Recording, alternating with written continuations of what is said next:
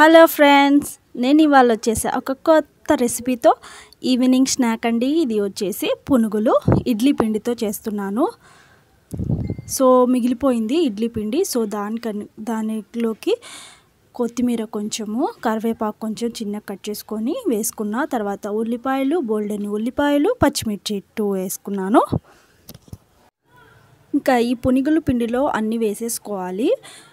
So ఉల్లిపాయలు పచ్చిమిర్చి కరివేపాకు కొత్తిమీర అన్నీ వేసేసుకున్నాం కదా నెక్స్ట్ వచ్చేసి పిండ్లు కలుపుకోవాలి.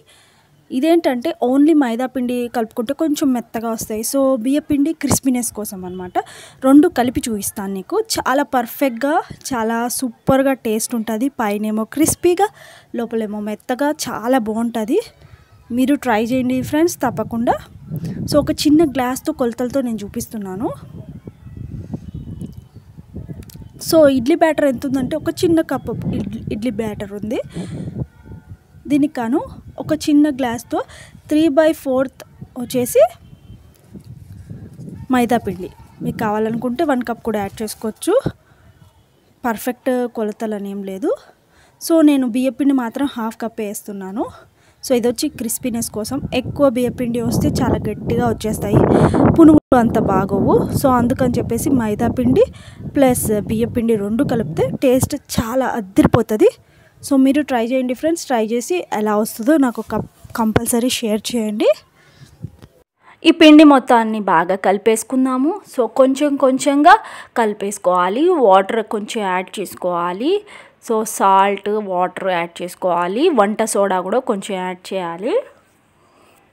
సో ఫస్ట్ సాల్ట్ ఆల్రెడీ కొంచెం ఉంది కాబట్టి నేను ఆల్రెడీ మార్నింగ్ కలిపేశాను. అందుకని చెప్పేసి కొంచెం వేసుకున్న సాల్ట్ వంట సోడా కూడా వేసుకోవాలి. వాటర్ వేసేసుకొని ఫుల్గా కలిపేసుకోవాలి. ఇంకా వాటర్ కొంచెం కొంచెంగా యాడ్ చేసుకొని కలిపేసుకోవాలి. సో బాగా కలిపేసుకొని ఒక థిక్ మరీ థిక్ కాదు మరీ థిన్ కాదు. ఇంకా వచ్చేసి ఆయిల్ పెట్టేసుకున్న ఇంకా పిండి మొత్తం పునుగులు వేసుకోవడానికి సో నీ బ్యాటర్ ఎలా ఉండాలో కన్సిస్టెన్సీ చూపిస్తాను. ఒకసారి చూసేయండి. సో అలా ఉండాలి. సో వేసుకోవడానికి ఈజీగా ఉండేలాగా మనకు డ్రాప్ చేసుకోవడానికి ఈజీలాగా మరీ లూజ్గా కాకుండా మరీ థిక్గా కాకుండా ఓ మాదిరిగా కలుపుకోవాలి. మనం ఇడ్లీ పిండి కలుపుకుంటాం కదా అలాగా. మరి దోశ పిండి కొంచెం పలచంగా ఉంటుంది. సో ఇడ్లీ పిండిలాగా కొంచెం కలుపుకోవాలి.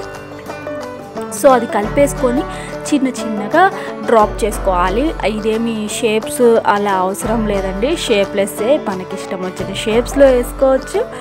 సూపర్గా ఉంటాయి. టేస్టీగా ఎమ్మీగా ఉంటాయి ఫ్రెండ్స్. కొంచెం డ్రాప్ చేసి చూస్తున్నాం.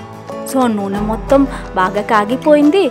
సో ఇట్లా కొంచెం కొంచెంగా డ్రాప్ చేసుకుంటూ ఉండాలి.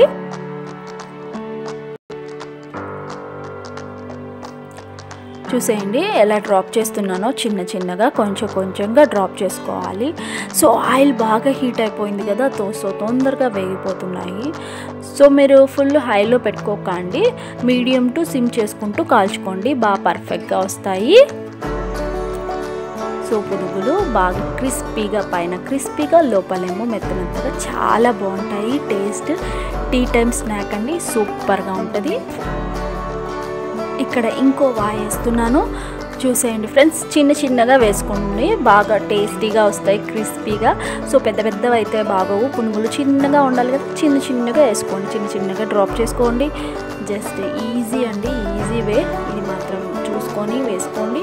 సో ఒకవైపు కాలాక ఒకవైపు తిప్పేసుకోవడమే అంతే అనమాట చాలా ఈజీ ప్రాసెస్ తొందరగా అయిపోతుంది. టీలోకి నంచుకోనికి సూపర్గా ఉంటుంది. టీ టైంలో అది తినుకుంటూ టీ తాగితే సూపర్గా ఉంటుంది టేస్ట్. సో ఈవినింగ్ కూడా ఇంకా మనకి ఏం చేయాలి అని ఏమి అవసరం లేదు. ఒక టెన్ మినిట్స్లో ఇవి రెడీ అయిపోతాయి. చూడండి ఎంత రెడ్గా వచ్చాయో సరిపోతుంది. ఇంకా తీసేసుకోవడమే.